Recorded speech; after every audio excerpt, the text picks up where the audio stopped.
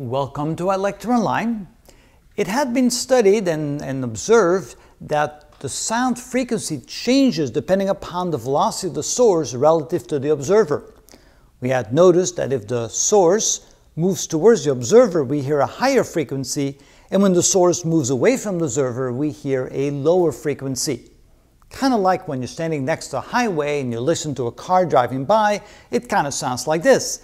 When it approaches you, it goes, mm,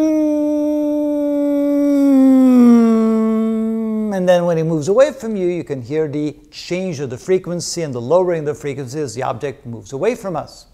So the question was, does the same thing happen with light?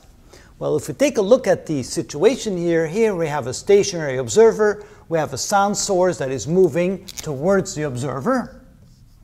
And because of that, the waves are bunched closer together, causing the frequency to increase, and the frequency observed is equal to the frequency of the source times the equation of the velocity of the sound in air divided by the velocity of the sound minus the velocity of the source.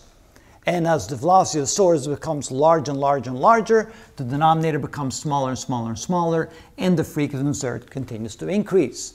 So the question is, does the same thing happen to light as it comes from an object that approaches us? And let's say that we have an observer on the Earth looking through the telescope, looking at a galaxy that happens to be approaching towards the Earth with a velocity v. The question is, does the frequency of the light changes? And the answer is yes, it does in the exact same way.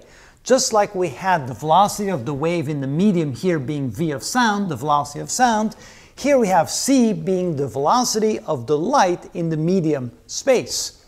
And so we can say then that the frequency observed by the observer here is equal to the frequency of the source times the very same ratio, the speed of light in the medium space divided by the difference between the speed, speed of light in space minus the velocity of the source. And maybe I should write v sub s for velocity of the source and that is the equation that gives us the exact same relationship between the frequency observed and the frequency of the source, all depending upon the velocity of the source and the velocity of the waves in the medium. In this case, for light, it is the speed of light.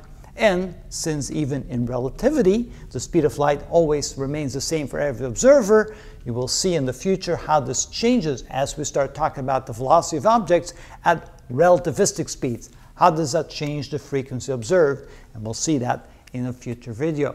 But it was a tremendous discovery to realize that there's a very close similarity between how the frequency of the sound changes and how frequency of light changes.